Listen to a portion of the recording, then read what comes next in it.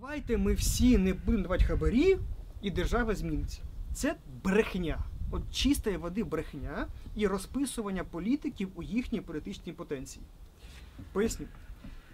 Якщо це не означає, що хабарі треба давати, не треба давати. Але між тим, що люди не дають хабарів е, дорожній поліції, і тим, що міністр краде на рюкзаках, нема жодного зв'язку. Тобто дають люди поліцейським, не дають люди поліцейським. Це не забирає можливості міністра воровати на рюкзаках. Алка в тому хороший приклад. Тому е, нема зв'язку між побутовою корупцією і політичною корупцією великою. Він, він, є, але він протилежний. Не можна подолати ту корупцію побутову, не рішивши політичну корупцію.